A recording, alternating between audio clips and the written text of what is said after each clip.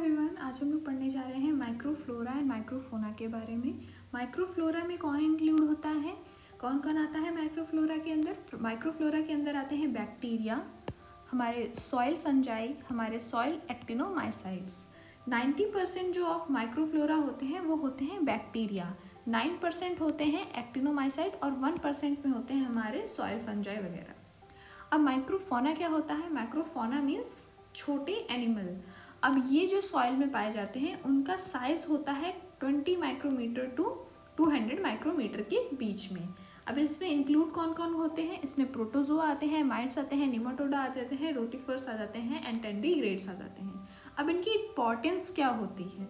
Importance में हम लोग देखते हैं it bring mineralization of organic matter of soil and release nitrogen phosphorus and different nutrients to the plant अब यहाँ पर ये जितने भी माइक्रोफ्लोरा एंड माइक्रोफोना है, वो क्या करते हैं? मिनरलाइजेशन लाते हैं कहाँ पर? ऑर्गेनिक मैटर में, ताकि वो रिलीज़ कर सके नाइट्रोजन एंड फॉस्फोरस और डिफरेंट न्यूट्रिएंट्स ताकि वो प्लांट के द्वारा एब्जॉर्व करे जा सके।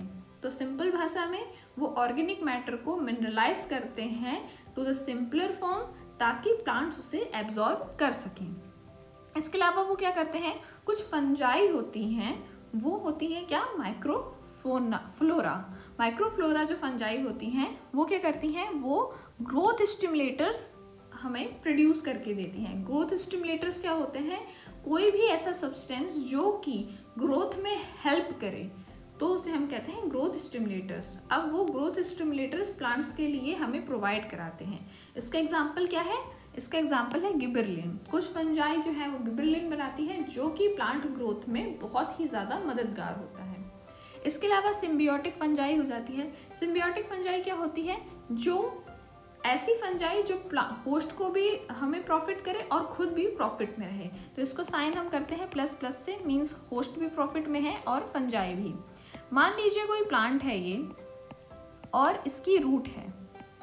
अब इसकी रूट में अगर कोई फंजाई आके रहने लगी और फंजाई को भी हेल्प हो रही है और प्लांट को भी हेल्प हो रही है तो हम इसे कहेंगे सिम्बियोटिक फंजाई अब वो प्लांट को हेल्प कर रहा है, इसीलिए ये इंपॉर्टेंट हो जाता है.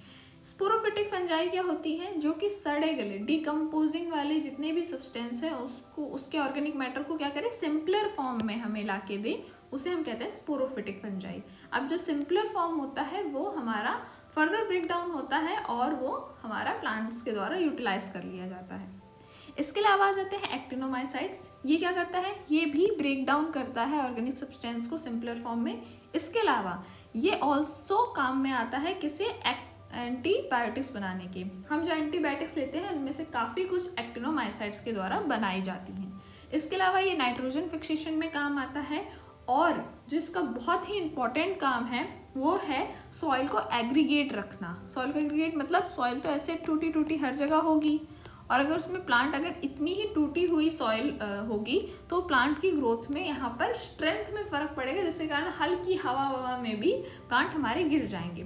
तो सॉइल को एग्रीगेट रखने के लिए ये एक म्यूकिलेज बनाते हैं, एक चिपचिपा सा पदार्थ बनाते हैं, जो कि सॉइल को बाँध के रखता है। और उस सॉइल में प्लांट की ग्रोथ बहुत अच्छे से होती है। सो so, हमारा ये बहुत ही इंपॉर्टेंट वर्क है किसका एक्टिनोमाइसाइड्स का। इसके अलावा आ जाते हैं अगर माइक्रोफोना पे। तो माइक्रोफोना का जो काम होता है वो होता है थोड़ा डिफरेंट जैसे कि हमारे राउंड वॉर्म भी आते हैं माइक्रोफोना में। अब ये जो राउंड वॉर्म्स अगर आपने देखे होंगे तो ये इस शेप के होते हैं।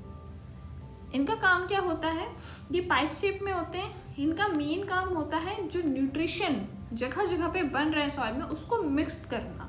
वो मिक्स करने में हेल्प करते हैं न्यूट्रिशन के। इसके अलावा जो सॉयल होती है, उसको पोरस बनाने में भी ये हेल्प करते हैं। पोरस बनाने से उसमें हवा जा पाती है और वो ज़्यादा अच्छे से पेड़ उसमें ग्रो कर पाते हैं। इसके अलावा ये भी ब्रेक डाउन करते हैं कुछ ऑर्गेनिक न्यूट्रिशन को उसके सिंपलर फॉर्म में और जो कि फर्दर हमारे काम में आते हैं।